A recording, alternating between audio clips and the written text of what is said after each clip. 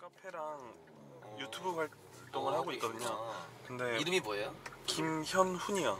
블로그 그 이름이? 이하이라고 이하이? 네. 어, 들어본 것 같은데? 그래서 요번에 N 쪽에 올리는데 예. 하루에 들어오시는 분들이 진짜 많더라고요. 오, 웬- 그걸로 해서 예, 그- 저도 그걸로 관심 요번에 처음에 이거 구매 지금 사전 예약을 해놓은 상태이기도 하고. 아 사전 예약 해주셨어요? 네, 그러면서 요번에 이걸로 레이싱 쪽에 조금 모터스포츠에 좀 더 관심을 음, 어, 갖게 돼서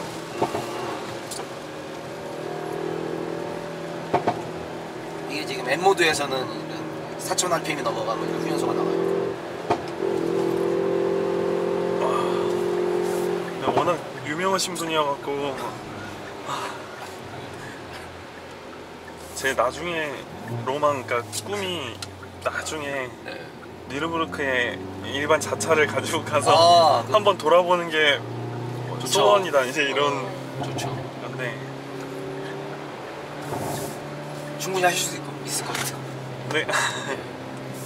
그래서 요번에 driving 아카데미도 일단은 여기서 레이스까지 클래스까지 일단 한 번은 쭉 아 driving 아카데미 했거든요. 현대 driving 아카데미 쪽이요? 네. 아, 하셨구나. 근데 그때도 아쉽게도 거기서는 이제 수동 운전이 아니라 뭐 DCT로도 가능해서 제가 아반떼 스포츠를 타고 있거든요. 네.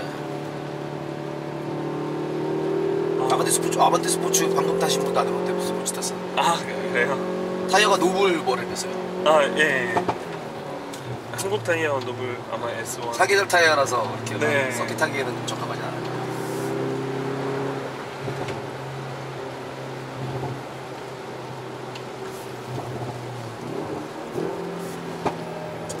그럼 여기는 트랙 한번 좀 타보셨어요? 아니요 트랙을 그때 아카데미에서 여기서 인제 인제에서 네 두 번 했고요. session은 택시 타임으로 진행하도록 하겠습니다. 아, 이 session은 어, 택시 타임으로만 해요. 지속적으로 어, 여기 비가 오면서? 많이 내릴 것으로 보여서 아이고.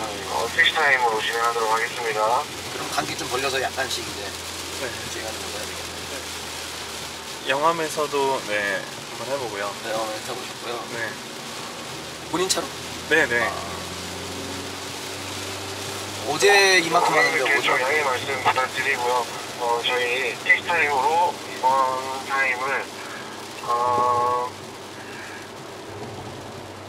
12시 55분에 종료하는 것으로 하겠습니다. 12시 55분에 종료하겠습니다. 물이, 물이 이제 물길이 나버리거든. 아.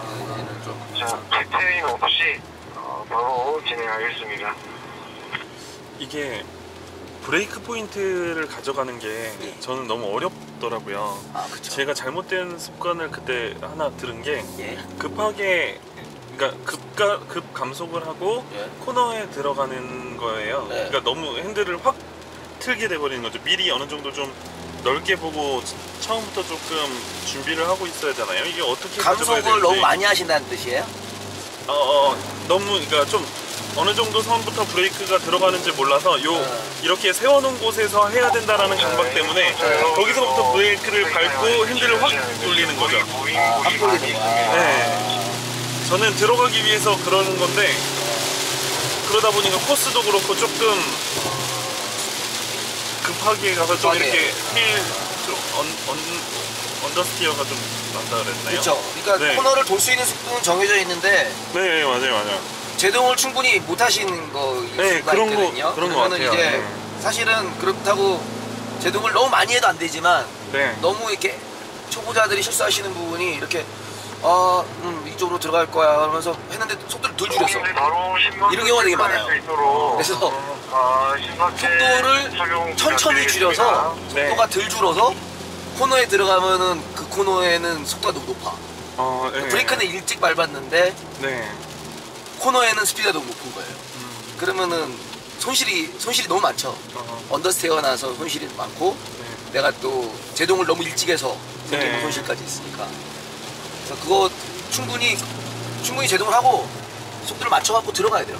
어, 조금 많이 줄여주세요. 와, 근데 속도를 안 되는 상황입니다. 오버 스피드로 이제 오버 스피드로 들어가게 되면 보통은 대부분 다 이렇게 타시더라고. 그건 이제 코너가 나와 네. 똑같진 않지만 속도를 줄인다고 줄이는데 브레이크를 너무 약하게 밟았어. 그러면은 아. 나가자고. 어 나가네 나가. 어, 예, 예, 예, 예. 아, 이렇게. 브레이크가 너무. 약해서 그래요. 자, 여러분들 텍스타임 페이스도 50% 이하로 줄여주시고요. 지금 이제 물이 이제 너무 많아갖고 요- 여기도 많이 네, 코너 돌아야 되는데 속도를 안 줄여. 5분까지 바- 밟고 이제 밟으면 나가는 거예요. 나가. 나- 다 커도 못 돌아. 하면서 여기도 승차감이 어떻게 변하는지 그냥 오버스피드 나가. 어, 고객님께 한번 체험을 좀 시켜드리고요. 야 코너링 스- 어, 갔을 때는 속도를 줄여야 되는데 장점과 어, 느껴볼 수 있는 포인트에 대해서 어, 충분히 적극적인 변화가 있기 때문에 어, 충분히 고객 여러분들께서도 느껴보실 수 있습니다. 네, 인솔자분들 안전운행 부탁드리겠습니다. instructor들도 사고 나요. 아, 전에도 한번. 대부분 브레이크가 너무 약해서 그래요. 아, 예. 강하면 방학 딱 만나면 속도가 남아갖고 어이씨 너무 어. 일찍 했네 막 이렇게 돼버린다 근데 약하고 길게 해버리면 네. 속도도 안 줄고 스피드가 안 나요 그러면은 이게 타는 분들마다도 스타일이 조금 다른 걸로 알고 있는데 어떤 분들은 좀 거칠게 어떤 분들은 좀 부드럽게 타시는 분들이 소프트하고 하든 이게 브레이크 차이인 것 같은데 이게 뭐 저는 사실 차마다 다를 수가 있고요 아, 차마다. driving 스타일이 어떤 네. 차들은 과격하게 네. 밟는 게 더 빠를 수도 있고 아, 어떤 차들은 과격하게 밟으면은 이제 lap time이 더 느려지거나 이제 잘 안 되는 차들이 있어요 그래서 아, 그건 차의 영향이 좀 많아요 차의 depend 차에. 네. 근데 그 과격함과 부드러움의 경계가 좀 모호해요 아, 누구한테는 과격하지만 누구한테는 부드러워 보일 수 있어. 그 아카데미에서 배우기로는 코너를 돌 때는 브레이크를 밟지 말라고 배웠는데 그거는 이제 기초 단계에선 그러고 이제 아, 더? 네, 상위가 되면 코너링 중에 브레이크를 해야만 해요. 네.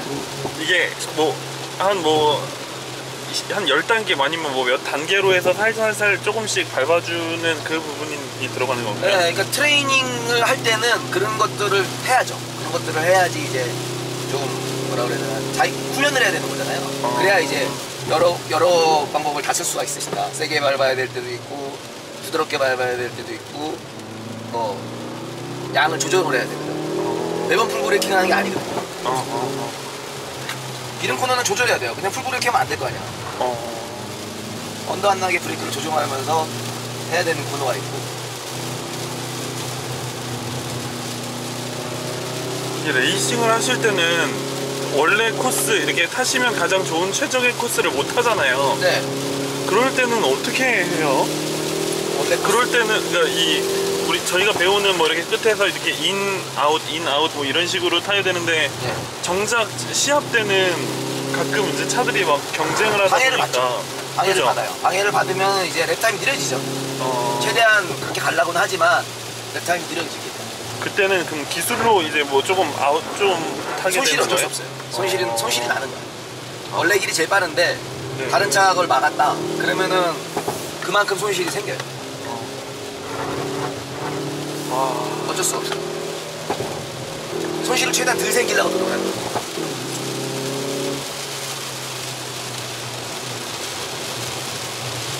그래야 한강이 이게 니르나 이런 데서 타시는 거 그때 잠깐 영상을 봤었나? 근데 이 앞에가 거의 안 보일 정도로 아, 비 비가 오면은 거의 안 보여요. 거기는 고저차도 여기보다 훨씬 높지 않아요? 보조차가 200m는 아, 200m지 모터대는 산을 하나 넘어갔다 오는 거니까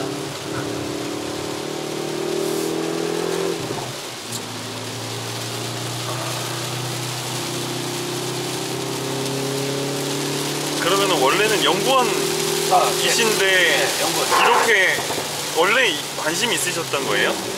어, 예, 연구원인데 나는 저는 이제 서스펜션 개발하고 하니까 그런 아. 것들을 하려 그러면 운전 기술 같은 것도 좀 좋아야 되고 아. 모터 스포츠 관심도 좀 있고 하니까 이제. 이 차 같은 경우는 독립 제어 서스펜션인가요? 각각? 아니면은 이렇게 두 개씩? CTBA는 아니야. 그, 그 독립식이에요. 아, 독립식이요? 독립식이라고 보시면 돼요. 그 타시는 아반떼랑 비슷해요. 어 그래요? 그거보다는 좀, 좀 개선된 거지만 타입은 비슷해요. 그럼 이번 벨로스터 N 같은 경우는 TUIX가 따로 없겠네요. 그건 잘 모르겠어요. TUIX에서 aftermarket part를 만들고 있는지 그거는 제가 몰라요. 근데 지금은 이 상태에서는 별로 그렇게 만들 수 있는 게 많지 않을 거예요. 이거 자체로 트랙 주행을 할 수 있게끔 그 제작이 됐기 때문에 여기다가 뭔가 튜닝을 더 가할 만한 게 사실은 좀 별로 없어요. 어.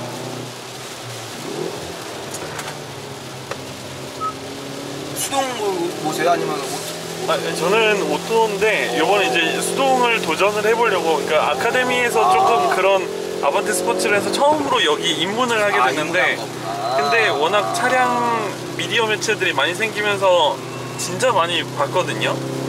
그러면서 좀 더 아, 재밌겠다 싶었는데. 자, 수동 운전이 뭐 레어템이긴 하지만 좀 빼먹을 수가 없는 뭐 그거니까.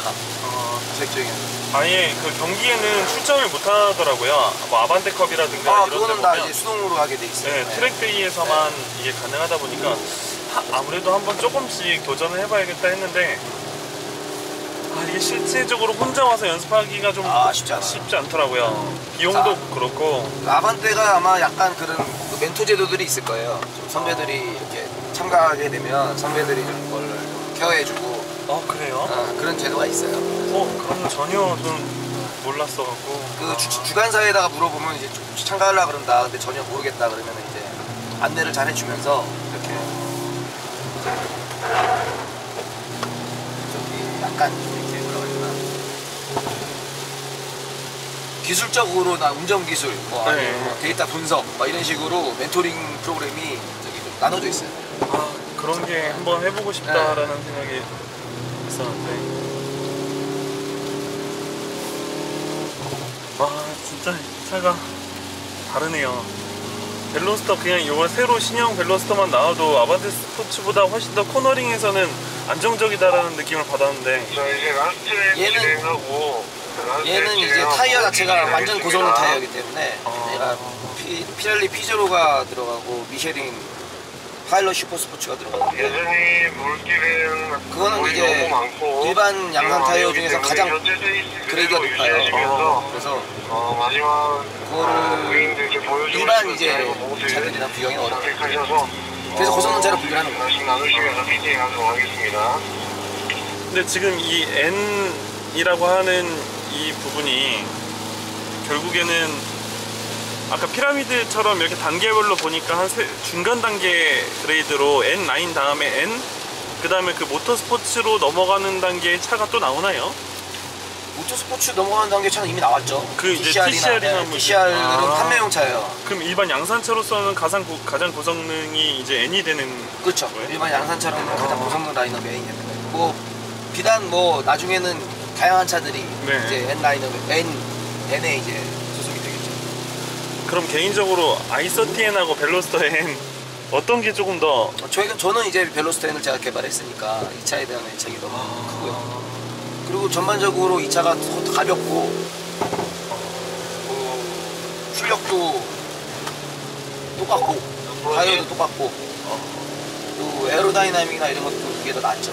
그래서 트랙이나 이런 주행에서는 i30 N보다는 훨씬 더 어, 얘가 빠르죠.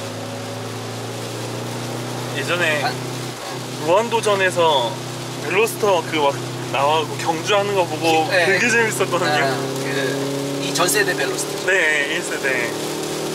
전세대보다는 많이 발전했어요. 근데 어, 비 오는데도 이 속도로 진입이 이- 일부러 공기압을 지금 세팅 값을 바꾸신 건가요? 아니 아까 드라이 상태에서는 공기압이 너무 트랙 주행하려면 올라가기 때문에 예, 예, 예. 드라이 상태에서는 조정을 해줘야 돼요. 근데 어. 지금 갑자기 지금 비가 와갖고 뭐 완전히 노면이 그냥 차가워져 버렸잖아요. 어, 네, 네. 그럼 다시 또 조정을 해줘야 돼요. 어, 트랙을 주행할 때는 공기압을 뭐 해- 해봐서 아시겠지만 레커멘드하는 걸 핫 공기압이라고 해서 네. 그 뜨거운 상태의 공기압을 기준으로 맞춰요. 그렇기 때문에 계속 변해요. 그래서 트랙에서 퍼포먼스를 고성능 차가 잘 뽑아내게 하기 위해서는 그걸 잘 조정해야 돼요. 매뉴얼에 명기를 해놓거든요. 어. 와, 근데 이 G-force 값이 진짜 이상적인 그림을 그리시는. 그때 드라이빙 아카데미에서 이렇게 그려야 된다라고 얘기해주신 그대로. 자, 이제 모든 차량 pit in 하도록 하겠습니다. 어,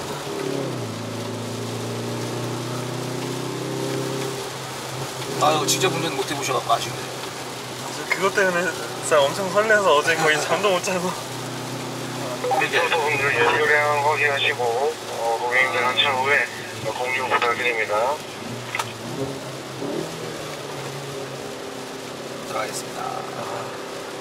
가장 아쉽네요. 그래도 이렇게 그동안 자, 블로그도 봤었고 뵀었거든요. 아, 예. 어, 네, 열심히 보고 있고 붙어서 일렬로 정차하겠습니다. 그래서 너무 자, 모든 차량 일렬로 피트 가까이 붙어서 블로그 보에서 정차하겠습니다. 모아서 책 책도 냈었거든요. 아 그, 네, 그러세요? 블로그 이렇게 되게 모아갖고 책 냈었어요. 아 한번 구매해서 볼게요. 감사합니다. 음, 아 진짜 너무 너무 멀잖아요. 이렇게 TV에서